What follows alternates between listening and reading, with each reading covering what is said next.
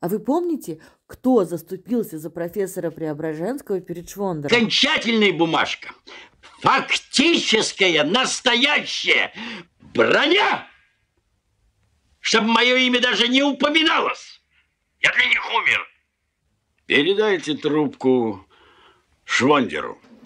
И этот же влиятельный пациент, который, очевидно, облачен какой-то властью, позже и приходит к профессору Преображенскому с информацией о том, что Шариков на него написал поклеп. О чем же нам говорит этот эпизод?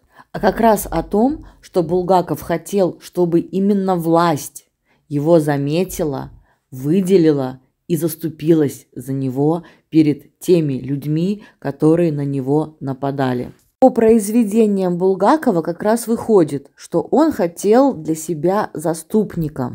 Эта же тема продолжается и в «Мастере и Маргарите», когда Воланд говорит «никогда и ничего не просите», особенно у тех, кто сильнее вас.